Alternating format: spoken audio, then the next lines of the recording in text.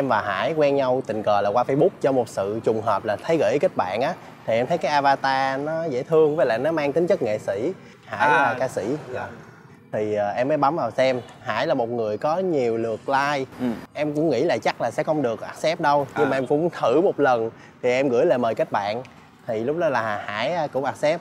Và hai đứa em bảo like cho nhau để gây chú ý. Em có khó khăn gì hay là có cái thuận lợi gì khi mà em quen một hiện tại Hải cũng đang là sinh viên ờ, của Đại học Văn hóa Nghệ thuật quân đội. À. không có nhận show nhiều chỉ nhận show vào những thời gian rảnh đó thì những thời gian rảnh đó thì em có thể sắp xếp công việc của em để mà đi chung với Hải. Em sinh năm 91 còn Hải là sinh năm 99 Wow. thì là khoảng cách là 8 tuổi với nhau á. Thì Hải cũng đang kiểu như là tuổi mới chập chững bước vào đời. Ừ. thì suy nghĩ nó sẽ còn hơi kiểu con nít. Người ta nói là con nít thì phải nuông chiều rồi chỉ dẫn từ từ thì đúng là có những cái mà Hải chỉ suy nghĩ ờ, kiểu như là chỉ trước mắt.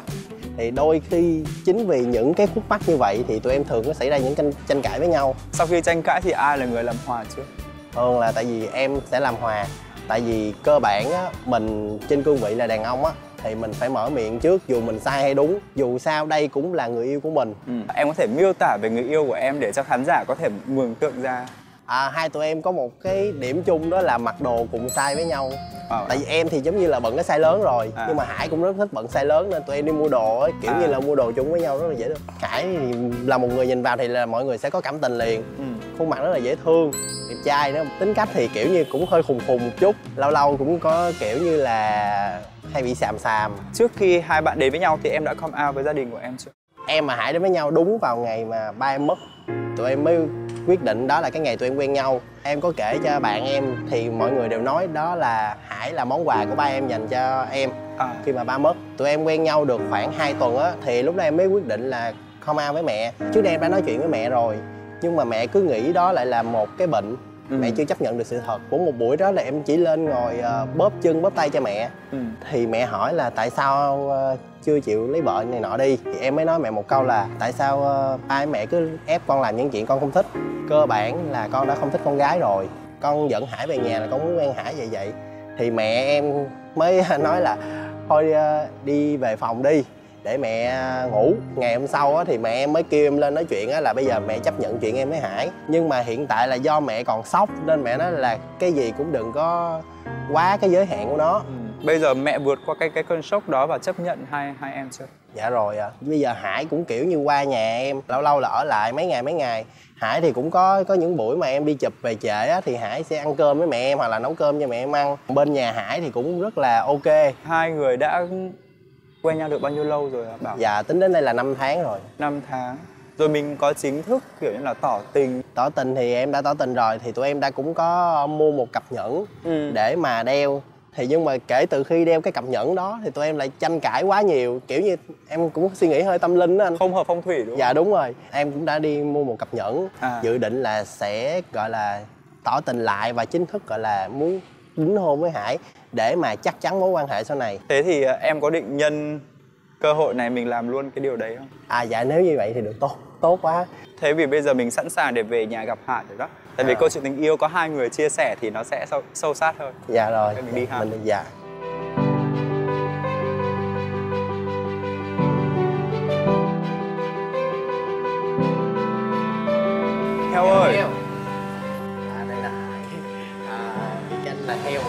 heo. chào bé heo. Ok. Anh xin phép vào thăm nhà nhé. Ok, cảm ơn em.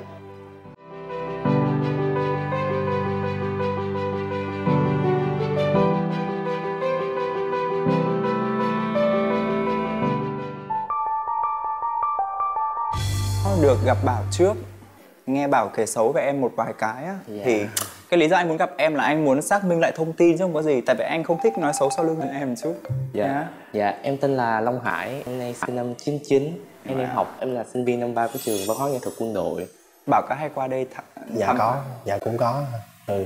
Cũng hay qua đây là cũng có à, nấu ăn rồi nè Ăn cơm với lại à, mẹ của Hải là À. thường Tại vì bố Hải là thường người chạy xe á, nên là Ừ. cũng ít gặp lắm Thường gặp thì là bố Hải ngủ Đi chạy sáng về thì Ừ. ngủ mất tiêu rồi Thì cái ngày đầu tiên là sau khi mình nhắn tin bao lâu? Dạ, em nhớ tầm cỡ 2 tuần là tới Hai ngày ờ, đám tang của bố À. Bảo. Là em sang à, tại vì trước cái bữa đó nhắn tin thôi quyết định gặp nhưng mà do ba em bị bệnh á bệnh nằm bệnh viện thì em mới nói là ờ, để hết bệnh rồi sẽ gặp. Ừ. thì đúng bữa sáng nó mất thì cái em cũng có suy nghĩ là không muốn ờ, quen nữa tại vì bây giờ đang nhà đang rối lắm. Rồi. rồi thì là cái xong tối hôm đó cũng chờ mà qua lúc đó thì có một cái cảm giác nó kỳ lắm. Thì em mới kêu Hải ra em ôm Hải một cái. Thì sau này tụi em mới quyết định ngày đó là tụi em quen nhau à. Quyết định luôn. Ừ. khi mà bảo ra bảo ôm mình lại như vậy cái cảm xúc của em như thế nào?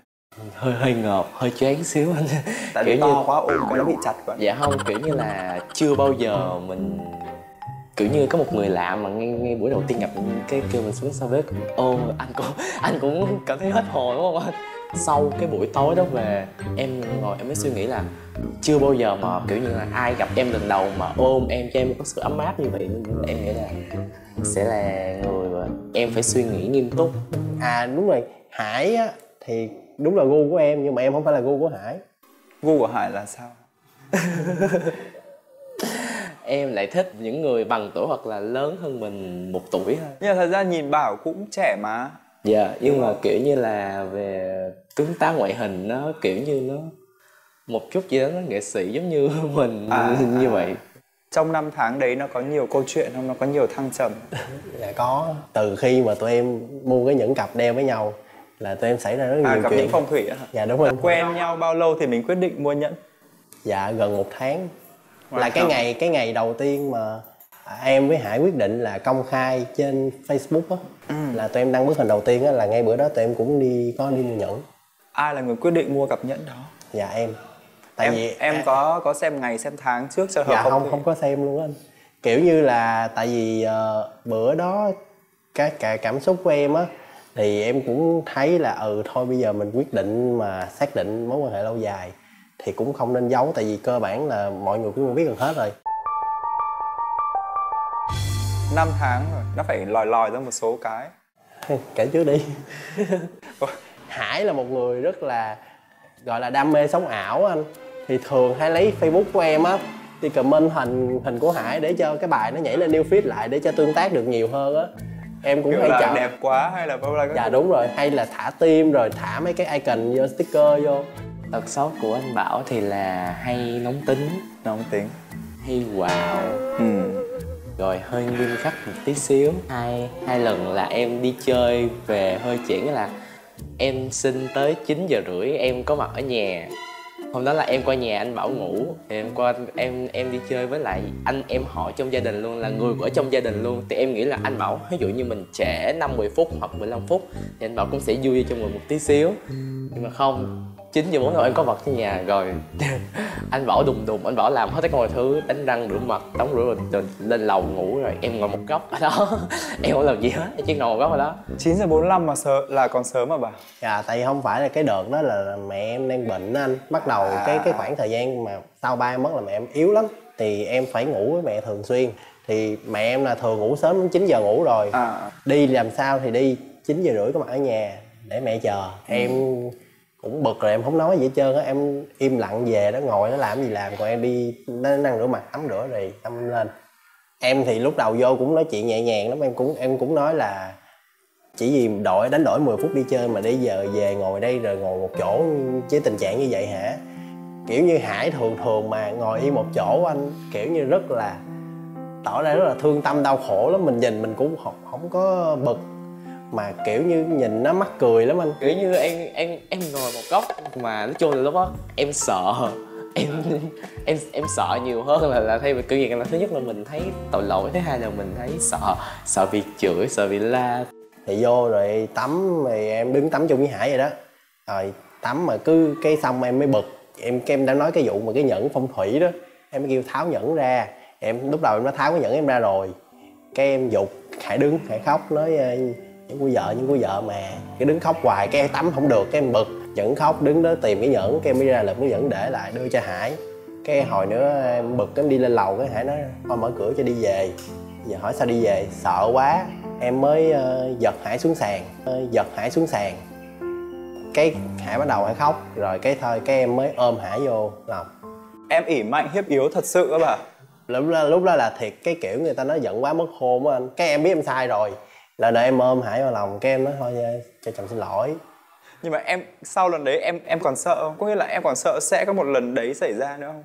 Dạ chắc chắn có. Rồi kiểu như nó vẫn còn trong tâm của mình. Ví dụ như nói quên những cái lúc vui thì mình quên. Ừ, ừ. nhưng mà sau đó ví dụ như chuẩn bị xảy ra một cái mâu thuẫn đó, thì mình vẫn phải suy nghĩ lại. Mà bảo là, là một người nóng tính ấy, chứ, đúng không quen trẻ con mà bắt người ta trưởng thành khổ ông quá đi bảo ơi. Dạ nhưng mà cái kiểu như là vậy nè. À, chính hải nói hải muốn quen một người lớn tuổi để mà trưởng thành. Nhưng mà em chia sẻ những cái kinh nghiệm của em cho hải. Hải dạ lúc đó hải sẽ thay đổi được một ngày và ngày thứ hai bắt đầu trở lại như cái phiên bản ngày trước. Không giao có nghĩa là quên hết những gì mà mình chia sẻ với nhau. Hai bạn cách nhau 8 tuổi. Dạ. 8 tuổi nó một thế hệ. Thì giống như là mình phải kèm thêm một đứa em của mình vậy y chang đúng không? Cái cảm giác là như là phải kèm thêm một đứa em út vậy đó. Dạ. có khi nào mình thấy áp lực quá trời không? Dạ không anh. Tại vì ờ, như anh nói là một một một, một người phải cam tâm thay đổi một người chấp nhận bao dung á thì đây là xác định đây là người đi với mình suốt. Thì mình phải coi đó là một cái việc mà mình phải làm cái chuyện thường ngày thôi. Nên em cũng thấy áp lực gì hết trơn. Bạn á thì anh chỉ có suy nghĩ vậy thôi nhá bảo là bảo cần cần luôn á, là cần phải bớt nóng nảy lại. Tại vì mình đã chọn một người trẻ con rồi. Cái đấy là mình chọn nha, nên mình phải kiềm bớt bản thân của mình lại. Tại vì khoảng cách nó nó xa quá. Thế bây giờ à, ban nãy anh đã có dịp nói chuyện với bảo, sơ sơ về câu chuyện come out của bảo rồi á. Thì bây giờ anh xin mượn Hải một chút xíu để anh hỏi chuyện riêng về những câu chuyện về come out cũng như là gia đình của Hải nha. Thì anh chỉ muốn hỏi em về cái chuyện tình cảm của mình á có chuyện gì mà em không em có khúc mắc trong lòng nhưng mà em chưa thể nói ra cho cho bảo mong bảo hiểu cho em một một số thứ như là từ lúc mà em quen bảo thì ờ, về chuyện bạn bè là em gạt bỏ hết tất cả luôn. Tại sao em?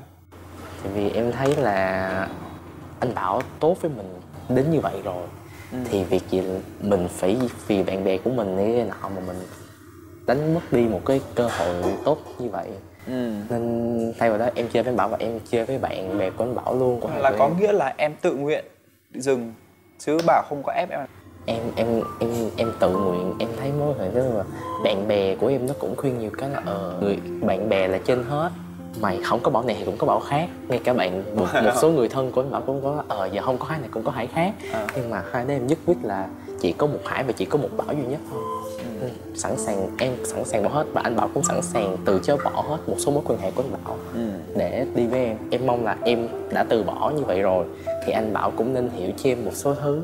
Em vẫn mong bảo đừng có làm em phải bị chín ép á có nghĩa là phải để cho em trưởng thành dần dần. Dạ, đúng rồi. có bài học có tất cả các thứ. Dạ đúng rồi đúng rồi. Ai cũng phải tự sai rồi tự sửa tự hoàn thiện mình. Dạ. còn điều gì nữa? Ờ, một số điều mà em không thích thì anh bảo nên chú ý tới nó. Tại vì thường những một số điều em không thích đối với em là không thích. Nhưng mà đối với anh bảo thì đó là chuyện bình thường hết sức bình thường. Ví dụ như là chuyện đi hát hò này kia kia nọ Ừ. trang phục rồi uh, cast này kia nọ thì cái đó là là em ngay cả em và ngay cả anh bảo cũng trao đổi về cách này kia nọ ngay cả cách của anh bảo đi chụp hình thì em cũng góp ý này kia nọ. Thì đó là bản thân có góp ý. Và mỗi lần hát hát xong cái lâu lâu cái anh bảo ra một cái quán nước hay là đi chơi với bạn bè của anh bảo thì anh bảo kiểu như cũng hay chọc cũng hay cũng hay nói nói nói nói, nói. hôm nay hát ở đâu vậy? Hát ở đâu chỗ nào chỗ nào? Cách như mấy bài mấy bài kiểu như vậy. Thì À. em em em không thấy đó là đó là cái cái cái đó là, là, là do em do người ta biết em như thế nào thì em sẽ theo ý khách hàng. Bạn bè chung của hai đứa bảo là ủa bọn thì ăn hiếp hải lắm hay sao mà sao thấy hải? Có vẻ rụt rè hay ngại ngùng Ừ. này cái kia nọ. Thì ai cũng nói như vậy hết. Em còn tuổi em còn quá trẻ và em come out với gia đình rồi anh nghĩ nó không dễ dàng với em? Dạ mọi người đều nói giống như anh thì em come out từ năm lớp 11 ừ. là cậu em hồi là bi Ừ. như vậy là là là nhưng mà sau cái quen trai quen gái sau này cậu em lớn rồi tầm ba mươi mấy tuổi á, thì cậu mới là cưới cưới vợ là cậu bây giờ là có trải qua ba đời vợ rồi là có năm con rồi nên bởi vậy cái suy nghĩ bên nhà ngoài rất là hiện đại. Rồi em về em nói chuyện với mẹ thì mẹ cũng buồn mẹ cũng chưa hiểu rõ được nó như thế nào. Sau khoảng một thời gian dài em không có quen ai hết. Mà em về em cũng không có dắt về nhà. Xong tới em mới dắt về nhà thì hôm đó là mẹ em đối xử rất là tốt với anh bảo. Tại vì anh bảo chỉ mẹ em tiếng anh học tiếng anh. Em thấy vui không? Dạ vui. Vui vì điều đó đúng không? Dạ. Tại vì không phải ai cũng được sự chấp thuận của gia đình đâu cuộc sống của em bây giờ em có chăn trở gì cho về cuộc sống của mình? Dạ mọi thứ hiện tại em cảm thấy là tạm ổn. Và em với bảo cũng có những cái dự định sắp tới cho vừa cho hai đứa mà vừa cho mỗi đứa riêng với nhau nữa. Dự định riêng của em sắp tới là gì? Giờ sắp tới em phải học hỏi thêm trau dồi thêm để mình ra một số cái sản phẩm để cho người ta đón nhận để người ta biết tới mình nhiều hơn. Ví dụ cái đường hướng của em như thế nhá em sẽ nổi tiếng hơn chẳng hạn thì có khi nào bảo lo lắng về khi mà em nổi tiếng hơn thì em sẽ xa cách bảo? Em nói với bảo á, sau này ví dụ như có nổi tiếng hay có gì á nếu mà ấy á, thì thì em vẫn em vẫn muốn quản lý của em là anh chứ không phải là người nào khác. Thế là mọi thứ đối với em bây giờ ok hết. Còn định hướng chung của cả hai đi tình cảm cả hai? Ờ, sắp tới thì em với bảo cái chuyện là đính đính hôn trước. Đính luôn dạ. wow. Để có một cái gì đó ràng buộc nhau Ừ. giữ nhau lại Wow, hay ha. Ban nãy khi mà anh nghe Bảo à, kể về cái cái buổi mà vật nhau thì có cái cái đoạn mà em khóc rưng rức vì Bảo bất cái nhẫn. Tại sao khóc? em thấy cái cái nhận đó là hai đứa cùng quyết tâm là hai đứa cùng quyết tâm quyết tâm là sẽ đeo đeo đeo tới cùng bây giờ bảo vứt đi như vậy em suy nghĩ là ờ anh bảo vứt đi là anh bảo bỏ Có nghĩa là đôi khi Bảo hơi áp đặt đúng không? Có bao giờ em thấy áp lực quá mà đến lúc đến mức mà em muốn buông bỏ nó xuống? áp lực thì có nhưng mà về cái cái chuyện mà mình mỗi lúc buông bỏ thì không có Ừ. thì mỗi lần áp lực á thì em sẽ có một cái hành động khác kiểu như là con nít mà anh em, em sẽ thái độ nói chung là em thái độ em dưỡng dưng em mặc kệ sẽ có thái độ mà những cái thái độ mà anh bảo làm với mình á thì mình làm lại với anh bảo như vậy À. để cho anh bảo biết là anh anh bảo đang đang tạo một cái áp lực Có bao giờ em ngồi nói chuyện thẳng thắn với Bảo về cái chuyện là anh đã tạo cho em áp lực quá nhiều? Dạ chưa em sợ em nói ra áp lực như vậy thì anh bảo lại nghĩ là ờ cái đó cái là điều mà anh bảo muốn tốt cho em. Để một bữa nào đó em em sẽ thử nói chuyện tại vì em sợ nói ra rồi hai đứa lại có một cái mâu thuẫn rồi lại đang vui rồi là mất vui nên em không muốn nói. Đấy, tùy cách của mình nói. Mình nói nhẹ nhàng ngọt ngào thôi thì đâu có gì đâu. Sau cái buổi nói chuyện ngày hôm nay á em có cảm nhận là có có có nhiều cái khúc mắc mà em đã được giải quyết không? Em cảm thấy là những cái khúc mắc của em là em đã nói ra được hết tất cả. Ừ. và em cũng cũng mong muốn là sau chương trình này em cũng sẽ gửi tới anh Bảo một số người bạn của Bảo hoặc là bạn của em. Hy vọng có những cái lời khuyên mà giúp cho em và anh Bảo có một mối quan hệ nó tốt. Tốt hơn. Nếu có một mong muốn đi mà em muốn bảo làm với em á thì em muốn bảo làm cái gì cho em? Giống như trước đây anh anh bảo nói là anh Bảo sẽ tháo nhẫn quá quá ba lần á từ đổi nhẫn thì em vẫn chờ một cái giây phút mà em được anh Bảo đổi cái nhẫn khác cho em. Em em em em cũng suy nghĩ là Ủa là là lúc đến lúc từ lúc đấy đến bây giờ chưa có nhẫn mới? Dạ chưa. Vẫn là cái nhẫn cũ. Là tụi em tụi em đã, đã tháo rồi nhưng mà anh Bảo vẫn chưa có được. Ok. Thì chị chồng sẽ tặng cho vợ một cái nhẫn mới. Thì hy vọng là sau khi mình đeo cái nhẫn này vào á thì chuyện tình mình sẽ tốt hơn. Và mong sau bao nhiêu sóng gió rồi á thì là mình sẽ hiểu nhau hơn có được à, những cái suy nghĩ chín chắn rồi cùng nhau mà phát triển cái mối quan hệ này đi lên. Đồng ý không? Dạ. Nha. À.